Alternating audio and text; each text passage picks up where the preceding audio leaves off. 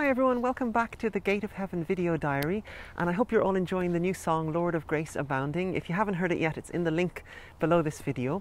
And uh, now that it's the month of May, I am really, really excited to tell you that Gate of Heaven is going to be officially released as an album in its entirety uh, this month on the, the, the, the, on the night of May 22nd the night of the commemoration of the declaration of the Bab.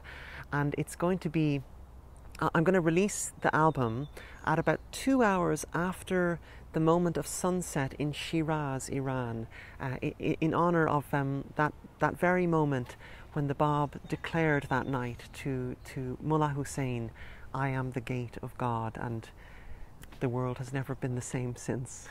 So I'm really, really happy to, to make that announcement and, uh, and yeah, share that news with you.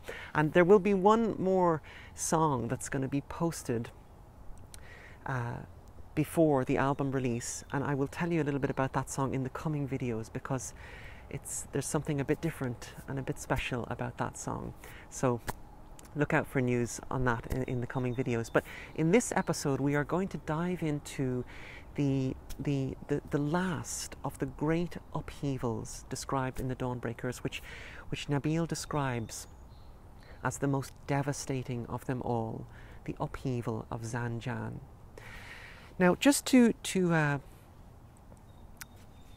provide a little bit of background about the, Zan, the Zanjan upheaval, you, you might remember uh, back in those days when, when the Bab was living under house arrest in the home of his uncle, uh, uh and uh, even though he was confined to his uncle's house, his message was spreading like wildfire all over Iran. The letters of the living were blazing a trail from north to south and east to west, convulsing the nation with the news of the coming of the promised one. And it was during this time, of course, that Vahid had been sent by the king to investigate the Bab's message. And it was also during this time that one of Iran's leading uh, ecclesiastical dignitaries, essentially a high priest of sorts, also of his own accord sent an emissary to investigate the Bab's message. And this emissary came back with, uh, with a, a, a, copy of the Bab's commentary on the Surah of Joseph, that, that very first book that he had revealed for Mullah Hussein that night in 1844. And the moment this priest reads the commentary on the Surah of Joseph, to the horror of his clerical peers, he embraced the message of the Bab. And along with people like Vahid and Baha'u'llah and the Letters of the Living, he became uh, one of the most, one of the boldest champions of the Bab's message. And the name of that priest was Hujjat. And so Hujjat is known as, the, uh, as a formidable character. He, he, uh, Nabeel tells us that, that uh, that he, he, uh, he, he, had a character that was uh, at, this, at the same time very loving and very fiery. And we're told in the Dawnbreakers that his outspokenness and strength of character made him the terror of his adversaries.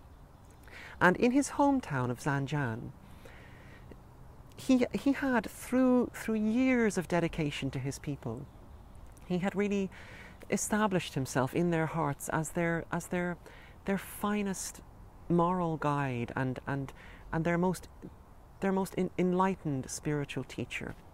And of such a high standard is Hujjat's education of his people that many members of his congregation come to surpass in knowledge and wisdom the, the professional priests around them. And of course, this doesn't go down well at all with Hujjat's peers, who, who constantly, for years, try to discredit him to no avail. In, in fact, even the king is convinced of Hujjat's superiority as one of the most noble religious leaders of the land. And when Hujjat embraces the message of the Bab, the members of his congregation listen with open ears, many of them following in his footsteps. But of course, his fellow priests see this as the perfect opportunity to strike and be rid of him once and for all. So they they, they gather together and they say, His reputation for justice, for piety, wisdom, and learning has been such as to render it impossible for us to shake his position. Now, however, that he has so openly championed the cause of the Bab, we can surely succeed in obtaining from the government the order for his arrest and banishment from our town. So at that time, Muhammad Shah was still alive and Haji Mirza Agassi was still the ruling prime minister. And so uh, these clerics start, uh, they start writing defamatory letters uh, to the king, denigrating Hujjat and accusing him of spreading heretical teachings. And so in order to settle this tension, both Hujjat and his, his fellow priests are summoned to Tehran to come to the royal court and to, to thrash this matter out under the judgment of the king himself. And so Hujjat and his peers, uh, they arrive in Tehran at the royal court and, uh, and Prime Minister Agassi addresses Hujjat saying, Muhammad Shah and I are continually besieged by the oral as well as written denunciations brought against you. It grieves me to hear that a man whom I consider infinitely superior in knowledge and ability to the Bab has chosen to identify himself with his creed. And Hujjat replies, Not so. God knows that if that same Sayyid were to entrust me with the meanest service in his household, I would deem it an honour such as the highest favours of my sovereign could never hope to surpass. And Prime Minister Agassi bursts out, This can never be! And Hujjat says to him, it is my firm and unalterable conviction that this Sayyid of Shiraz is the very one whose advent you yourself, with all the peoples of the world, are eagerly awaiting.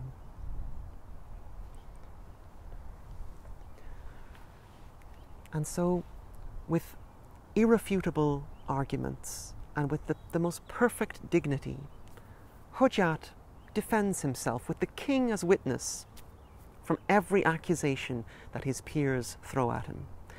And the king is totally won over by Hujjat, and he, he sends both Hujjat and his humiliated opponents back home to Zanjan.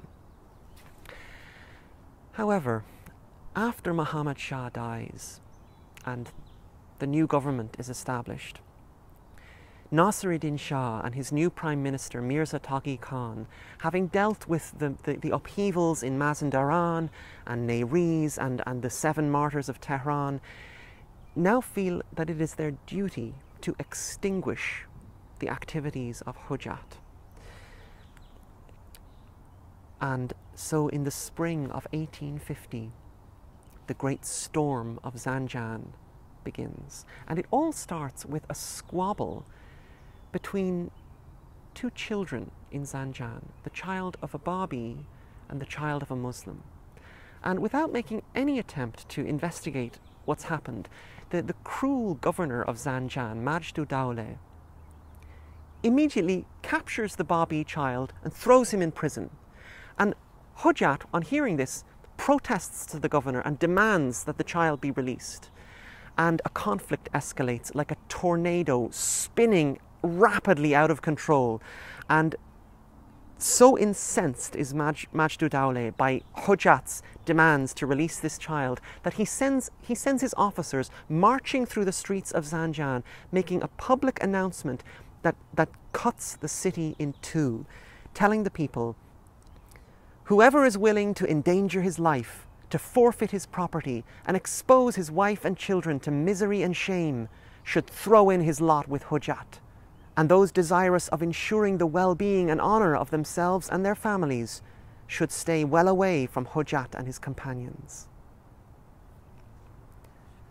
And within a matter of hours, the whole city of Zanjan is sliced down the middle, half with Hujjat, half against him. And of the, the latter half, Nabil tells us, encouraged by the governor's tacit approval of their expressed intentions, they resolved to put to death all upon whom they could lay their hands, without obtaining beforehand an express authorization from the government officials. They solemnly covenanted among themselves not to rest until they had extinguished the fire of what they deemed a shameless heresy.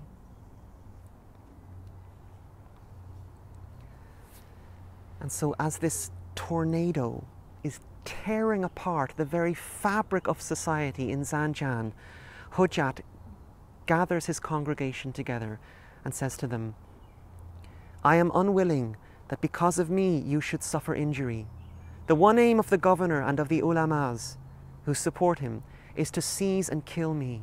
They cherish no other ambition. They thirst for my blood and seek no one besides me.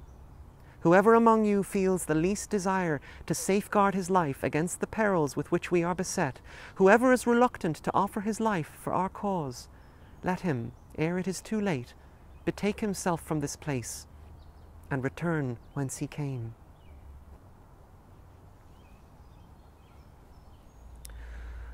Well, no less than 3,000 devoted members of Hujjat's congregation, men, women, and children who are unwaveringly loyal to him, stand by him. They leave their homes and they follow him. And just like the Babis in Mazandaran and Neyriz, they, they take shelter at, at an old fort in Zanjan called the Fort of Ali Mardan Khan. And at the instigation of Prime Minister Mirza Taghi Khan, the vast numbers inside the fort are matched on the outside by an army 3,000 strong that descends on the fort with the express orders to annihilate their city's most enlightened spiritual teacher. So we will continue with the storm of Zanjan in the next episode. Thanks for watching.